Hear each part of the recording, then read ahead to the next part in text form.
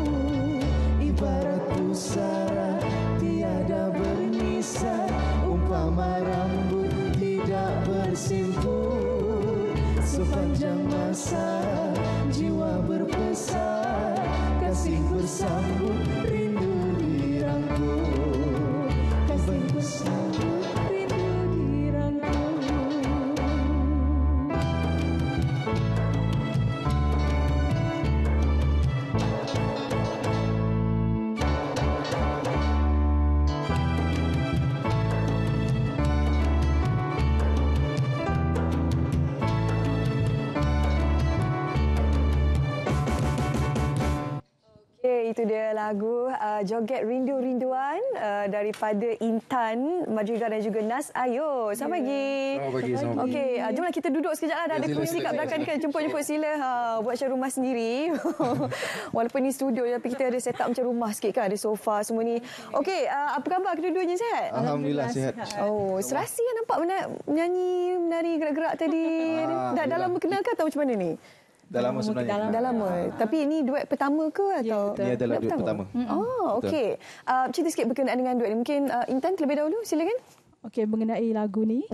Okey, lagu ni sebenarnya dicipta oleh uh, lirik ditulis oleh uh, Cikgu Sam Rizal Mm-hmm. dan uh, di, uh, komposer dia Pok Sualfian Mhm. dan diterbitkan oleh uh, apa uh, Cikgu Rosli. Ah, okey.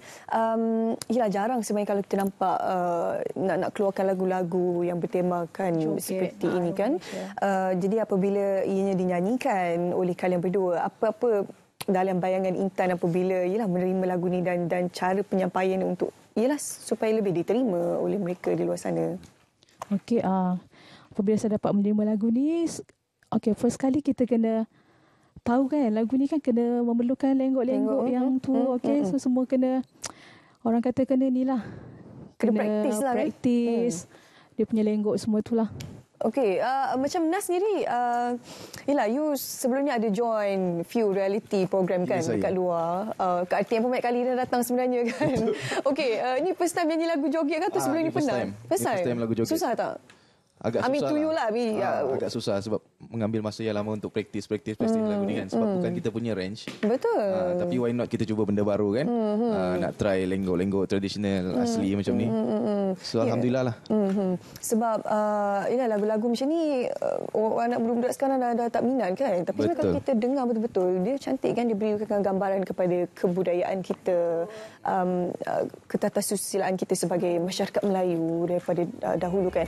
Uh, betul-betul latihan yang kalian uh, lakukan untuk ialah menghasilkan lenggok joget ini. Uh, Nas kongsikan dulu.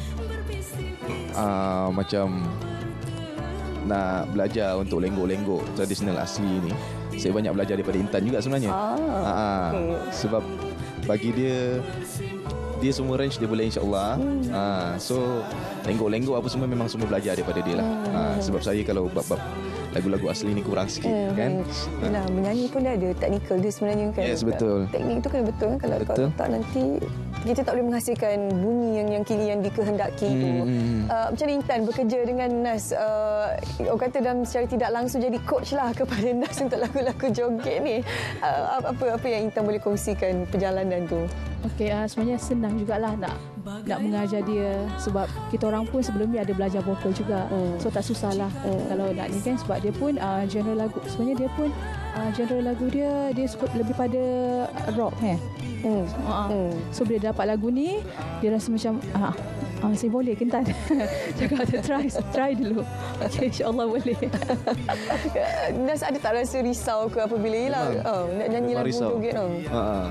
Tu cakap dengan dia tanya dia dulu kan macam mana boleh tak bawa lagu ni. Hmm. Kita cuba dulu dia cakap macam mana kan. So insya-Allah alhamdulillah lah. Hmm, Jaya jugalah. Bila dah bila dah nyanyi tu ada tak macam timbul rasa minat tu rasa macam nak lagi, nak buat lagi lagu. Ada ada ada. Hmm, kan? Ha ah. Saya rasa lagu macam ni dia lebih tenang, kurang rasa penat sikit atas Betul. stage kan. Betul. Bila you perform kan. Tapi lenggok tu ada bila kita dengar kan. Bertelayan lagu tu kan. Layan. Intan minat dalam dalam genre klasik macam ni lah. Ah, minat sebab dari sekolah pun dulu Intan memang dah terbiasa nyanyi lagu-lagu macam ni. Oh, selain Ah. pada lagu-lagu joget apa lagi lagu-lagu yang Intan nyanyikan? Lagu-lagu dangdut. Oh, Beladang, boleh lah. Nak sudah belanja ke? Ada masa tak? Dia boleh nyanyi dangdut lah. Okey, um, ada single sendiri kalau ini kan uh, joget ni berdua kan? Single yang individu. Intan sendiri ada Uh, tak? saya ada satu single uh, sebelum ni lah ya. Uh, tajuk dia Pergilah Derita. Hmm. Pun uh, komposer pun sama juga. Pop Su Alfian. Hmm, hmm. Macam Nas ni apa perancangan dalam dalam karier sekarang ni? Ah, perancangan saya sekarang insya-Allah lah. Ah, tengah dalam proses nak buat single terbaru lah. Ah, Insya-Allah. okey. Ah, Tapi genre apa? Tak tak ni. Genre mungkin dalam ballad. Dalam ballad. Ballad, oh. balada macam tu lah lebih kurang. Oh, okey okey kita doakan InsyaAllah. selamat maju jaya untuk kalian berdua. Kalau Ada kongsi IG ke Facebook ke untuk untuk penonton kita pagi ni? Okey, untuk IG saya Nazri underscore Nas dan juga TikTok saya Nas Ayub. Hmm. Facebook pun sama Nas Ayub insyaAllah. Boleh add lah. Lepas tu follow. Kita follow back jangan risau. Intan? Okey, uh, macam saya uh, Intan Madrigal, Instagram, Facebook pun sama, TikTok pun sama. Hmm. Dan jangan lupa uh, like like dan uh, share kita orang punya uh, music video dekat YouTube. Terima kasih. Okey, baik ah sama-sama berikan sokongan terhadap lagu Joget Rindu Rinduan daripada Intan Madrigal dan juga Nas Ayub.